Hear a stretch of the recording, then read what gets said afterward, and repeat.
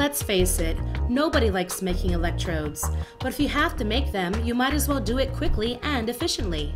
Let's see how the latest Cimatron release can help us. We're going to design 16 electrodes. Let's see how quickly we can do it. We are going to begin by extracting an electrode. We size the area to be burned, accept that geometry, and we can do a fit and center. To save time, we'll use a template to add the extensions. Put on the blank, the holder, the cornice system, and voila! Here's one electrode ready to go.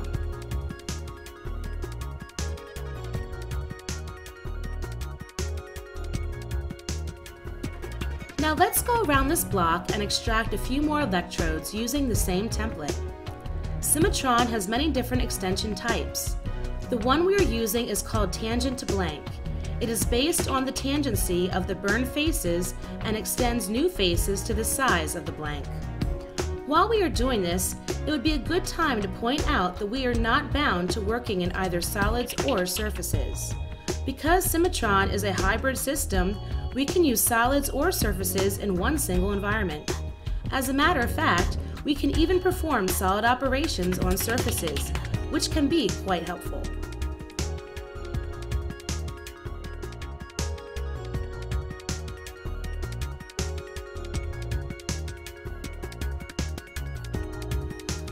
So let's move on.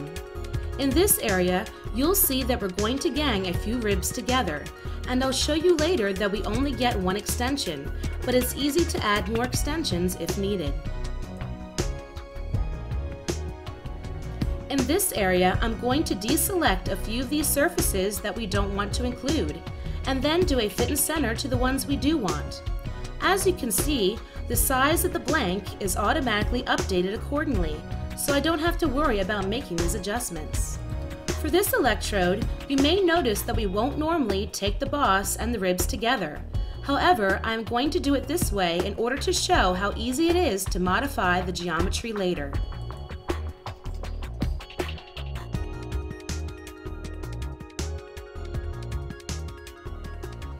For the next electrode, we are going to do a rotated burn. We can simply pick on a reference line and position the electrode along that line. Again, I can easily resize it and fit it to that shape. The one next to it is small enough that we really don't need an angle, so we can quickly remove that. That's 12 electrodes done already.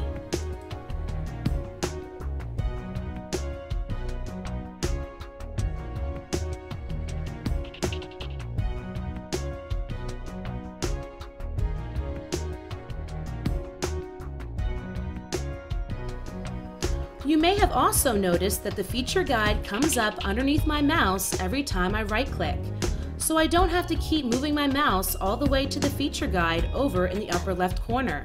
This saves me from wearing out my mouse pad, but more importantly saves me valuable time in the process.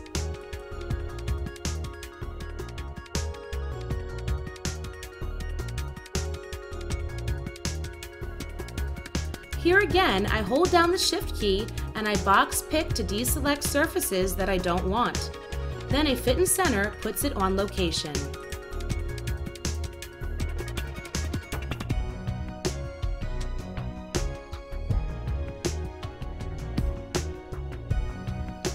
By this time, you may be wondering about mirrored electrodes or double-sided electrodes. We'd be happy to show you how easy it is to make these in Cimatron. Just contact us using the form below and we'll schedule a time to demonstrate these to you, as well as additional extension types that you don't see here.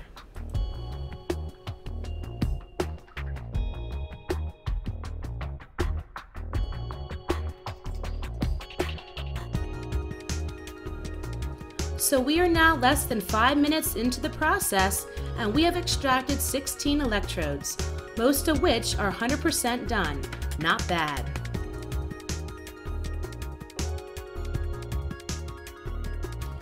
We can simulate the electrode's movement.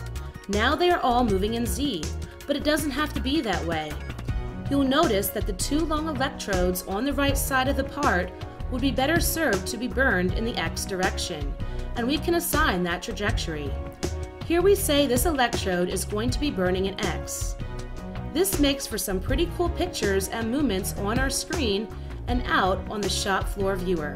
But more important, this information is passed directly to the electrode drawings or to the EDM setup program, which is capable of posting out the electrode locations and burn settings directly into our CNC EDM. Next, we are going to look at this electrode. I mentioned earlier that we only have one extension on it, but that's easy to fix. We can easily copy the steps from another geometry and apply them to this one. So here, we choose Apply Template for my reference electrode. Pick the electrode, and these steps are now included in our electrode. Now that was easy. Earlier, I mentioned that this electrode wouldn't normally be made this way, but I wanted to show a few things. So right now, we are going to stitch this all together, and we are going to use something called Remove and Extend.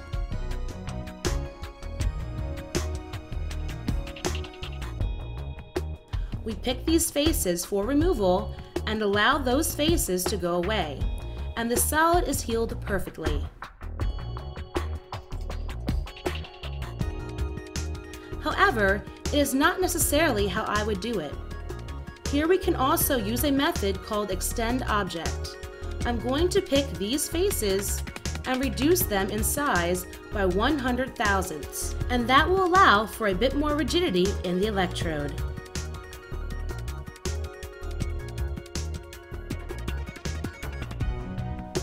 If you are not the guy doing the programming, you would need to convey information about what size tool to send into those corners. So we can put a round one here for let's say 1 16th so that the programmer knows he has to go down to a 1 8th cutter in order to finish this electrode. This is a good example for effective combination of working on surfaces and solids.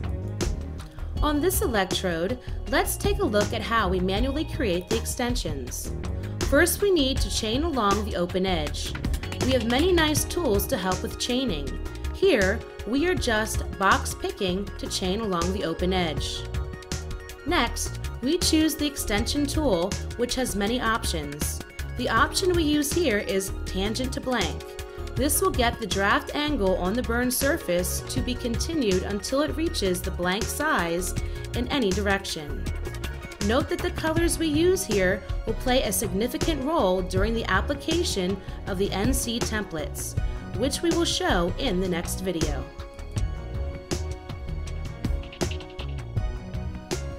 Okay, we have all 16 electrodes done and are ready to make some drawings. Cimatron allows me to generate beautiful drawings. It is all done automatically so I can pretend I worked hard, but there is really no effort on my part. The first one that I'm going to show is the assembly drawing. It is basically a burn map of where all the electrodes go. And it also creates an isometric view of each electrode and puts the X, Y, Z values there along with any rotation value. And if that electrode burned in another spot as well, you would see it in the drawing too. It also creates a nice chart with the electrode locations and rotations. We can also output individual drawings for each electrode, which we will show next. This drawing is completely customizable. What I'll be showing here is a two-page drawing. The first page shows an inspection drawing of the electrode, and the second is a burn drawing for the location of the electrode. And even though the whole process is highly automated, I have all the control I need to make the drawings the way my people on the shop floor want to see them. I'm going to show you how I can go inside and give a hidden attribute to both the core block and the electrode.